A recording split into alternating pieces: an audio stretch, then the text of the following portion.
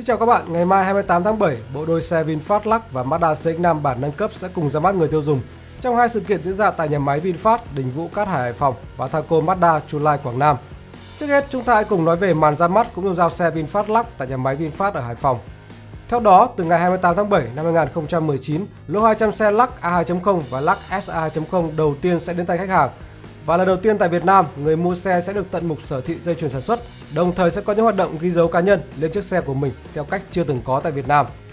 Có thể nói đây được xem là thời khắc lịch sử, đánh dấu sự hiện diện của thương hiệu ô tô VinFast trên bản đồ ngành công nghiệp ô tô thế giới. Ngay sau khi bàn giao lô 200 xe Lux A2.0 và Lux SA 2.0 cho khách hàng, VinFast cũng sẽ trưng bày và tổ chức các chương trình lái thử, trải nghiệm xe Lux tại hệ thống đại lý ủy quyền và showroom VinFast trên toàn quốc. Nếu quan tâm, các bạn cũng đừng quên truy cập qua website, fanpage của VinFast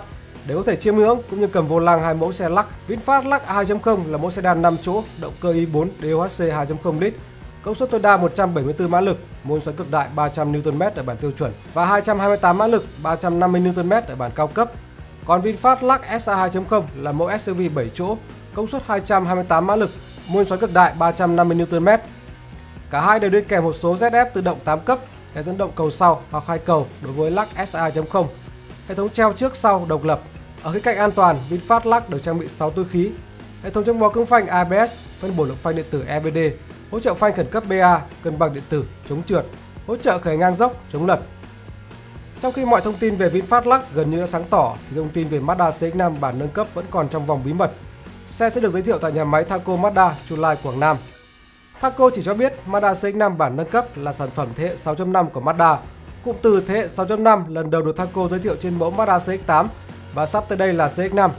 Nhiều khả năng CX-5 bản nâng cấp sẽ được trang bị thêm các công nghệ hiện đại như CX-8 mà cụ thể ở đây là trang bị thuộc gói iActive Sense với tính năng ga tự động thích ứng, giữ khoảng cách với phương tiện phía trước, hỗ trợ phanh thông minh cả khi tiến và lùi, phát hiện người đi bộ hay nhắc nhở tài xế khi cầm lái quá lâu, hay có thể là Apple CarPlay, một tính năng mà không ít người dùng Mazda CX-5 chờ đợi. Mazda CX-5 là một trong những mẫu crossover bán chạy nhất thị trường Việt Nam hiện nay, cạnh tranh trực tiếp với nhiều đối thủ như là Subaru Forester, Nissan X-Trail, Mitsubishi Outlander và đặc biệt là Honda CR-V. Do đó, việc nâng cấp CX-5 lần này cho thấy sự quyết tâm gia tăng sức cạnh tranh của Mazda đối với Honda CR-V.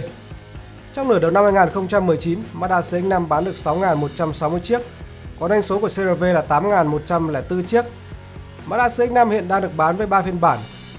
2.0 một cầu, 2.5 một cầu và 2.5 hai cầu. Giá xe dao động từ 899 triệu đồng đến 1 tỷ 019 triệu đồng. Hiện tại Mazda CX-5 đang được áp dụng gói ưu đãi lên đến 100 triệu đồng,